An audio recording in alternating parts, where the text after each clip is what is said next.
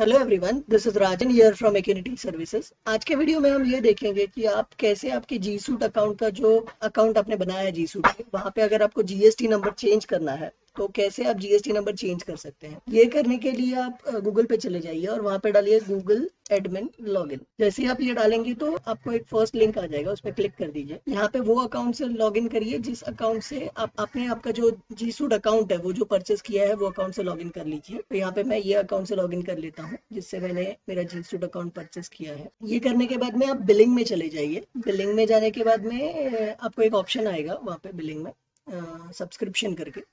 तो ये बिलिंग पे मैं क्लिक कर देता हूँ। फिर यहाँ पे बिलिंग पे क्लिक करने के बाद में ये जो सब्सक्रिप्शन आ रहा है, उस पे यहाँ पे एक्शन पे क्लिक कर दीजिए। एक्सेस बिलिंग अकाउंट पे क्लिक कर दीजिए।